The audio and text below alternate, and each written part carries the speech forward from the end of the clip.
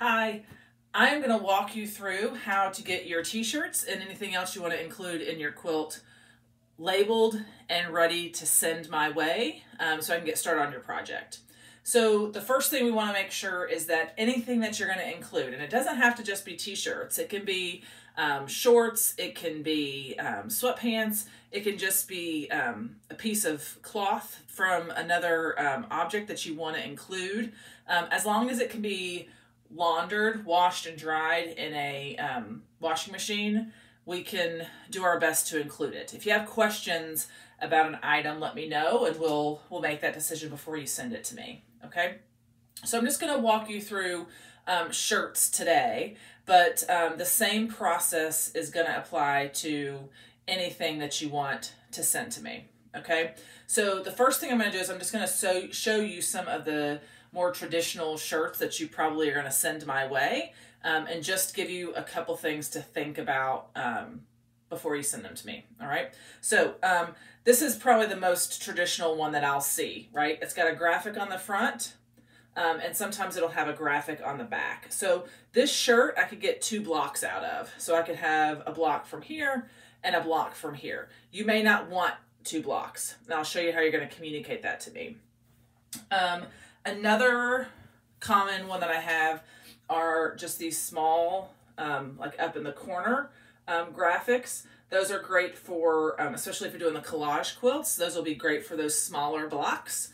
Um, and so you might have that. This one also has a um, graphic on the back. So again, I could get two blocks out of that one. This is another t-shirt, same process. It's got the, or same sort of situation. It's got a graphic on the front it's got a graphic on the back, but it's also got a graphic on the sleeve. So I could use all three of those and create um, three different sized blocks. Again, that's great for those collage quilts. You just need to think about what you do and don't want me to include in the quilt. All right. Um, long sleeve shirts are great too. Um, this one's an example. It's got a graphic on the front a big, big, big graphic on the back. I enjoyed those different size graphics. And then this one has graphics down both sleeves. So, um, and it doesn't have to be a graphic. I've done um, uniforms that have really cool sleeves, like stripes and things down the sleeves. Um, and so I can include that too. So it doesn't always have to be a graphic, um, but anything that's sort of unique, I like to include. Um, and that might even be something silly like a tag or the inside of a collar. So different shirts are going to have different qualities. So make sure you you look at them. Sometimes they'll have um, logos or patches down by the cop by the um, cuff or down in the lower um, down by the lower hem. I don't have any with that, but sometimes they'll have a little icon down here. Um, I can always turn those into small patches too. So just when you're looking at your shirts, really take a second to look at all the different pieces and parts and um, think about what you want me to include. Um, sorry. um, a sweatshirt. Sweatshirts are fine um, as long as they aren't super duper heavy. So this is an example of a sweatshirt and why I like this one is I like the ring collar. Um, so like this ringer tee kind of look.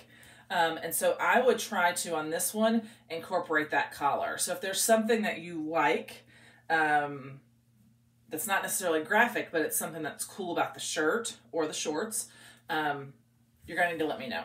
Okay? So here's how you're going to let me know. You're going to use blue painter's tape and a Sharpie. So we don't want to use masking tape. We don't want to use duct tape. That can ruin your shirt um, and the graphics, and we don't want to do that. So this is safe stuff and it will stick. So things like post-it notes will fall off, so don't use those. Um, so let's just talk about what you need to think about. So if you have a shirt and there's um, you're fine with all the things being used on it. You can just send me the shirt as is. You don't have to put anything on it. And I'll know that you're okay if that shirt or a piece of that shirt, like the sleeve, gets into the quilt or not. Especially with collage quilts, um, it's a puzzle. So sometimes I might be looking for a six by six inch square to fill, and this would be great for it. So um, if you send me a shirt with nothing on it, that tells me you're fine if those get into the quilt or if they're left out of the quilt. If there's something you really want me to know, you got to tell me. So the easiest thing to do, like if you wanted this shirt and you only wanted the front logo, the easiest thing for you to do is to grab your tape, and I would do it while it's on the roll. Don't put the tape on your shirt and then put it on there because you don't want to risk the Sharpie. So I'm just going to write on here, I'm just going to take my Sharpie I'm just going to say front logo only. It doesn't have to be neat as long as I can read it. I'm a teacher, I can read just about anything. So it, that's what I'll have on here. So I'm just going to take this, I'm going to rip it off. And then I'm just going to take it and put it right on the front of this shirt. Now, so it's going to look like this. All right. Notice I didn't put it across the graphic. I put it right under the graphic. And you don't need to tape off like, here's where I want the graphic. You don't have to do anything that because I'll measure it all out. Um, and you just label it and you would send that to me. So if I got this shirt, I would know that I am not going to use this and I'm not going to use that. Okay? That's what this tells me. So you can communicate to me however you want. You can say, just use this. You can say, use everything but this, right? Any way you want to communicate that to me is great, all right? Um, the more you communicate, the better. And if I have questions, I'll send you a picture and I'll ask you the question. So blue tape and a Sharpie for any um, for any um, shirt that you don't want me to use the whole thing. All right. If there's something that you are absolutely, you absolutely want me to do, put that on a piece of blue tape and include it. So like on this one, if you absolutely wanted me to include the red collar, put a blue piece of blue tape on here and say, um, please include red collar in this block or something like that. Okay.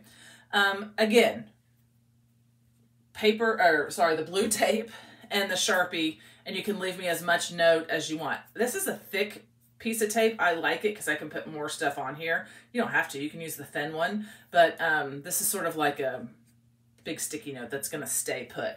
So that's how you're going to mark your shirts. So once you've got your blue tape on all the ones that you have uh, specific information you want to communicate to me, you're just um, going to fold them up, put them in a box, and send them my way.